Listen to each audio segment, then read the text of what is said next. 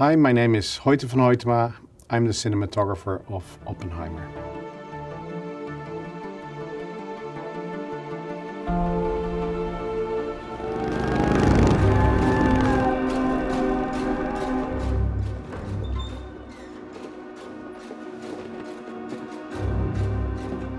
Thanks.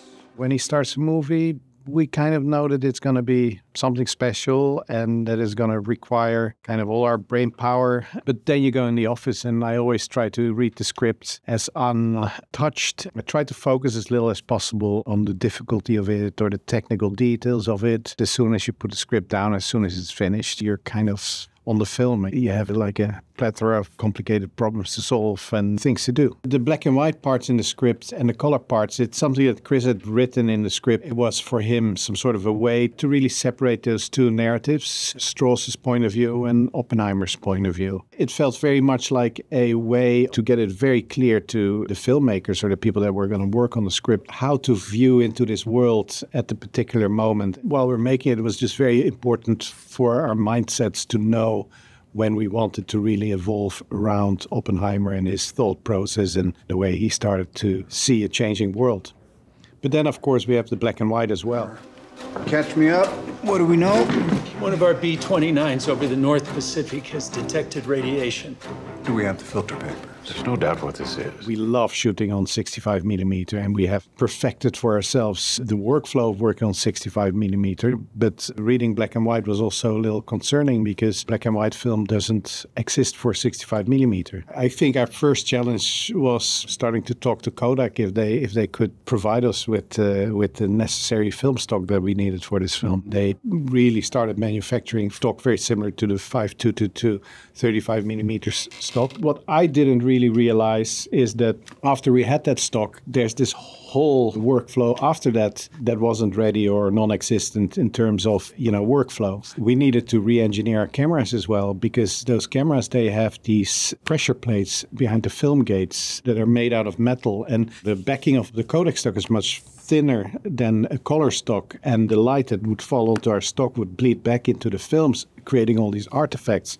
And then there was the big conversation with with uh, with FotoKem, our lab. They had a workflow, and they literally have one pipeline, one workflow, which is for color, which has never been for black and white. And then the question from us is, can you change that whole workflow into a black and white workflow and if you can do it how quick can you do it? So there was all these people that were helping us out and working on that singular thing of just us trying to shoot uh, some frames on black and white film. People ask me a lot about technical challenges in this film. I kind of always answer that the technical challenges for me weren't the big or the sensational scenes or the wide shots or the actiony bits but it was very much in the very mundane scenes you know know, when people are in rooms and they're talking and they're explaining and they're talking about threat or talking about bias or their ambiguous thoughts and their doubts. This was not the kind of subject matter that we necessarily wanted to approach in a very sensationalist matter. So I took a super low key scene, which is Strauss driving to the Atomic Commission meeting where they have just received word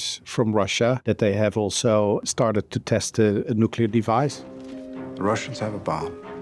We're supposed to be years ahead of them, but so what were you guys doing at Los Alamos? Wasn't security tight? Extremely, seemingly simple approach to framing. With our working with 65 millimeter a lot, I've become very much a center puncher. Center puncher basically means that the essential where you want your eye scanning of your audience to go happens sort of in the center of the frame.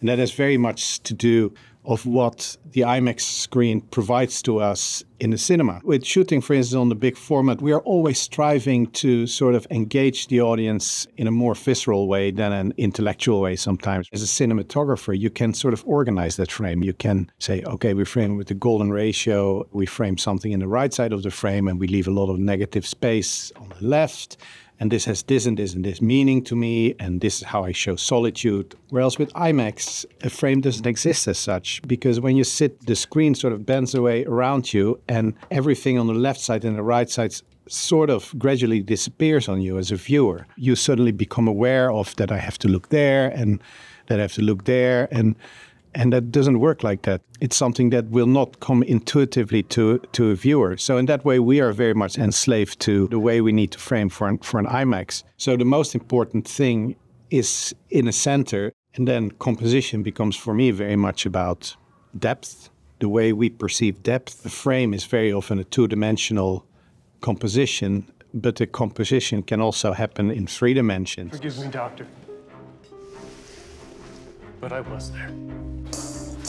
Can now consider the actual mechanics of detonation. In, in this film, I used very little Steadicam, close to no Steadicam. We tried to roll the dolly on the floor as much as possible. I love sitting on the dolly. I love looking through the viewfinder. That's one of the reasons why we wouldn't go necessarily on Steadicam or on like a stabilized head because the moment you do that, you prohibit yourself to look through the viewfinder. You know, you're reliant on a video system. When you shoot a format like IMAX, it's very important that you keep checking through a viewfinder because the video quality is very, it's very low-fi and it's very low res. You can judge framing, but you cannot judge, for instance, focus on it.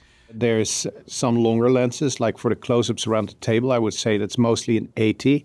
So we're feeling a little bit more removed from it. We're feeling like we are kind of listening in on a secret meeting. We are not inside people's heads, but we are relatively close to them, but we're outside the circle, so to say. Strauss in the car, which is shot with a much wider lens, where we, I hope that, that we literally feel much more in his space or in his protective bubble, if you may. And these are close ups that are shot with wider angle lenses, which creates a much stronger depth perspective as well. Because we're so close, we get so much shorter depth of field. So this is for us, of course, another instrument to sort of control the viewer's focus, to really concentrate them and to really understand that we're within somebody's space, that we're not just observing somebody, but we're literally there with the camera. If you shoot three close ups next to each other, this kind of the dynamics you can play with. We shoot three times the same close up, but we shoot them in different lenses. And all these lenses, they represent sort of different feeling or different proximity of us, viewers or filmmakers, to our subjects. Those are these moments where we allow ourselves to be a little wider with the lenses and to even push the camera a little bit closer. And traditionally, that was very hard on IMAX cameras because they were very much made for vistas and none of the wide wide lenses were engineered to have things close to the camera. So our magical lens guru Dan Sasaki at Panavision, he retweaked and he made a lot of lenses and really pulled those close focus uh, ranges very close to the lens. He put a screwdriver in there and started engineering and really made this a lens that we started utilizing a lot for certain as we say, paranoia close ups or these very sort of intimidating in your face shots on Oppenheimer only intended target would be the largest cities.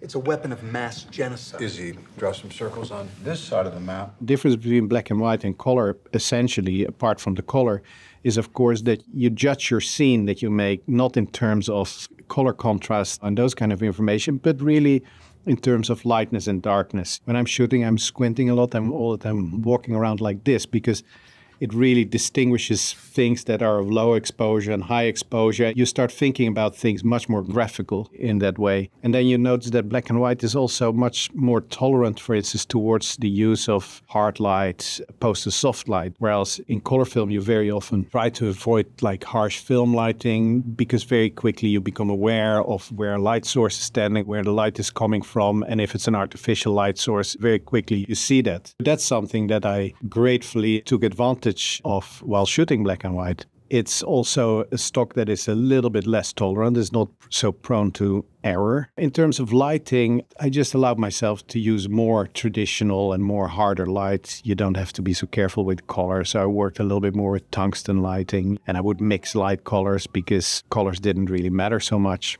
So I was a little bit freer for that. And also the scenes in the big interrogation room in Washington. There's all these, I think they're called sky pans or something, which is a very harsh, rudimentary way that they would actually light it up for those other cameras that were there, which is hard light. But then, for instance, more complicated shots like him sitting in the car through New York, that close up, we had to shoot in uh, Pasadena, which basically means suddenly we need enough city lights. So we sort of made a whole installation around the car with sky panels on there on a dimmer board connected to a Volo fan, in which my dim op operator is literally playing the light gags on the left side And then in the background, you have a bunch of crew cars that are just falling out of focus, taking advantage of the very short depth of field, creating those beautiful blooms in the back. If you shoot analog, making a print is the only way to sustain every available resolution information that you have uh, you know acquired on set if you shoot effectively an imax frame right an imax frame they say, you know, uh, it's very hard to, to, to compare, but it can contain like about 18K of resolution, one frame. It's unthinkable to scan that in that resolution and then have a plausible workflow. That's, that's too much information. Now, the only way to maintain that information is actually to print it on another piece of film and then project it. And by doing that, you also have to do uh, an analog coloring process, which I love. Um, I love, especially for the reason that the way that you color your film analog is is very intuitive and direct way, because opposed to sort of having a, a digital table in which you sort of go frame by frame forward, what you actually do, you color your film in real time you know, reel by reel. So you sit in a cinema, you watch your film in the fullest resolution possible, and you watch the film playing in front of you like an audience would see it. Every color uh, change that you make, you call out. And there's somebody sitting, Kristen Zimmerman, in this way, and she's making making notes. So you know, Chris or I would say, can we have a couple of points more green in this one, or this one doesn't really match. You have to have a look at that one. But uh, all during the when the film is playing and and and with sound and in a relatively ready version. I just love that idea of putting the final touches onto your film exactly in the same way as an audience would experience that film. It's for me, it's total magic. It's like, you know, and then it comes out in the end. And I always feel that we did something right is when I look at a film and I totally 100% can lose myself in it and buy into it and then later realize, but hey, those are three totally different parts of America where we shot this. And okay, you know, you just kind of forget about it. It's beautiful.